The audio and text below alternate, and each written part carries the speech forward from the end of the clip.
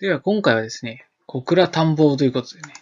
まあ、小倉城下の陸軍造兵廠ということなんですけれども、まあ、これがね、あの、造兵廠の唯一のね、残存遺構というか建物なんで、まあ、残存遺構で建物ということなんですけど、遺構はね、壁とかもありますね。で、まあ、ちょっとですね、私はあの、九州にね、あの、まあ、所有で向かってですね、まあ、あの、小倉で一泊して、どこか見てから次の日用事がね、あったので行こうかなと思ったんですけれども、まあ、実はですね、たまたま私がまずフォローして知っているフォロワーでね、まあ、知っているっていう方がね、あの菊池光先生って言うんですけれども、そのたまたまエレベーターの時にチェックインであって、まあ私あの、顔をしね、まあ写真で見て知ってたんで、ちょっと勇気を出してね、声をかけてみたらね、そうですということで。まあ向こうもね、私のことをまあご存知というかね、知っていまして、で、その後なんかこう、案内してもらえるという奇跡的な展開になっててですね、あの、小倉造兵省の、まあ、第一人者にね、あの、案内してもらえるという、大変な光栄な出来事でした。ありがとうございました。まあ、あの、菊池光先生はね、あの、検索すれば、あの、ツイッターとかでもね、あの、出てくるので、ぜひ皆さんもね、ちょっと、チェックしてみてください。で、あの、ここね、まあ、その後ね、小倉城でね、こう知り合った兄弟のグループとかとね、こう仲良くなったり、仲良くっていうかね、ちょっと話したりしてね、面白かったですね。で、まあ私はね、小倉のこの、こっちの方になんか泊まったんですけれども、これですかね、ですかね。で、えっと、ここからね、こう、こっちですね。歩いていって、ここがまあ、乃木坂と言われるところで、まあ、ここがね、あの、造兵省の敷地ですかね。で、最後ね、まあ、小倉城もね、もし案内してもらえてね、本当にありがたかったですね。で、この、まあ、当時のこの軍隊がね、通ったような橋、まあ、橋をね、まあ、これは新しい橋かと思いますけど、あのー行きます。で、まあ、これがね、小倉城で、小倉城ね、意外とね、この北九州市役所の、ね、とかね、NHK のせいでね、小さく見えるんですけど、意外と大きいんですよ。日本で4番目だか5番目だかの大きさだということでした。高さです。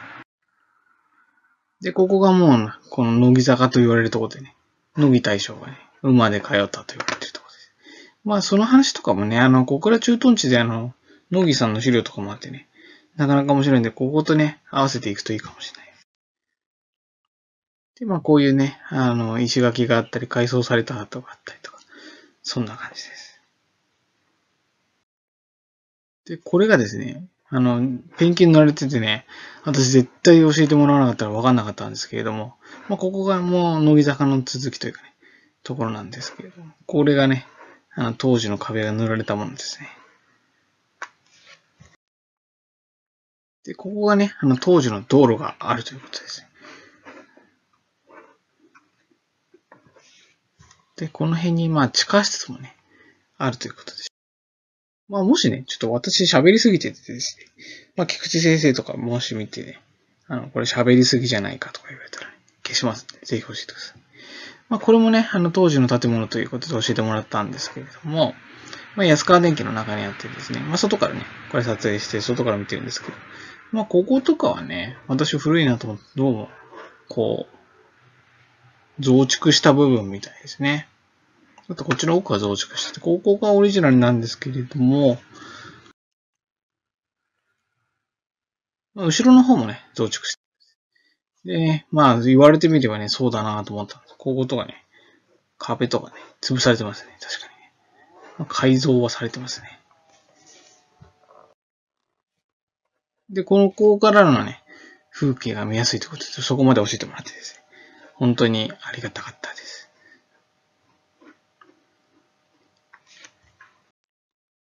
で、ここがね、昔の引き込み線の跡ということですね。あと、これがね、当時の壁が切り取られたのって、まあ、もうちょっとね、当然これちょっとね、覗けちゃうような今でも高さなんで、高かったやつですね。で、ペンキ塗られててね、これもね、言われないと絶対わかんないんですけど、まあ、裏見るとね、まあ確かに軍隊っぽいな。ここがもうちょっと高ければね、なんかそんな感じですよね。で、あとね、途中に境界石があります。陸軍用地って書いてありますね。あとこれがね、壁のとね、これも門中ということで片方しか残ってないんですけど。まあ言われれば、あ、本当だっていう感じですね。門中です。これも壁切られてるんですかね。で、裏側から見て、さっきのところなんですけれども。まあ、その裏はね、やっぱ増設されてるよう、まあ、こっちはね、換気扇あったりしますね。ここまでが当時のオリジナルかもしれないです。で、こっちの方にはね、昔は気球の倉庫とかなんかそういうのあったらしいんですけど、まあ今はもうね、なくなってしまっているということです。で、小倉城内にね、あの、関係する部隊の門中とかね、そういったものとかね、こっちでも門中がありますね。あと、このレプリカですかね。おと、あとこの十二師団司令部跡。まあ、お城とね、軍隊っていうのは付き物というかね、セットになってることがね、割と多いですね。で、小倉城。まあ、あの、これはね、私の専門外なんでね、ちょっと